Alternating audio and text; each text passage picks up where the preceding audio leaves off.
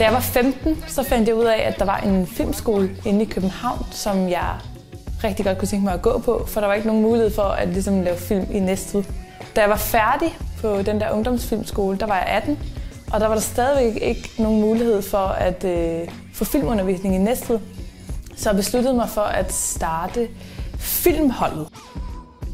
Jeg har valgt at placere øh, filmfestivalen i Næstved, The Next Film Festival, som er en filmfestival for unge, fordi det her kommer fra, og det her jeg har mine elever, og nu er Talentskolen også kommet med deres film. Øhm, og det er bare en helt fantastisk mulighed for alle øh, filminteresserede i regionen, hvor de kommer til Næstved hvert år og mødes for at vise deres film og for at få inspiration af hinanden.